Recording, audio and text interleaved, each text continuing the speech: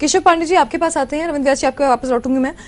केशव पांडे जी अगर देखा जाए तो ग्वालियर में इस वक्त अगर प्रमुख खबरों की बात की जाए तो आज ग्वालियर के अखबारों में कौन सी प्रमुख खबरें हैं? एक तो वैक्सीन को लेके खबर है कि वैक्सीन खत्म होने के कगार पे है। जी। और इसलिए सेंटर जो है उसके कम कर दिए गए आधे कर दिए गए।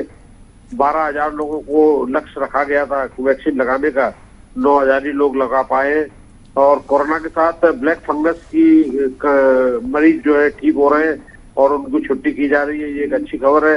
इसके अलावा तीसरी लहर को देखते हुए कलेक्टर कौशलिन विक्रम सिंह ने एक बहुत अच्छा कदम उठाया है। उन्होंने ये नर्सिंग कॉलेज वाले हैं जिनको ये कंपलसरी है कि वो सौ बेड का अस्पताल बनाएँगे लेकिन यहाँ नर्सिंग कॉलेज का लोगों ने कुछ संस्थानों को छोड़ के अधिकांश में आयुष सौ बेड के अस्पताल नहीं है फर्जी रूप से चल रहे थे उन्होंने तीस जून उनको डेट दी है।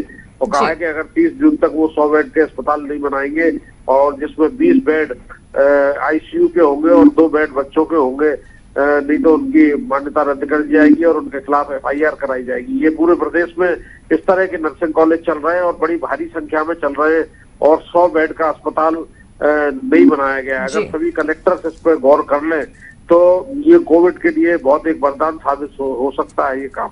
बिल्कुल। रविंद्र